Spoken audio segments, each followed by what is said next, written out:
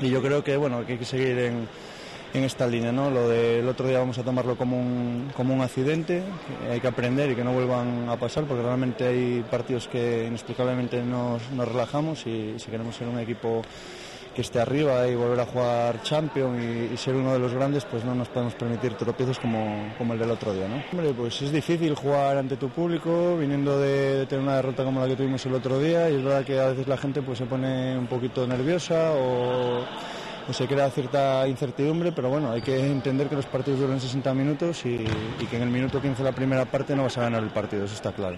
Y por último, ¿cómo llevas lo de jugar 60 minutos? Ya que sí no me acordaba, la verdad que, que, muy cansado, ¿no? La verdad que tenemos la desgracia de tener a, a Dalibor lesionado y, y, la verdad que lo necesitamos muchísimo. A ver si estos días pues, le sirven todavía para recuperarse mejor y el sábado ya está en plenitud de condiciones que, este equipo necesita de todos los jugadores para llegar arriba.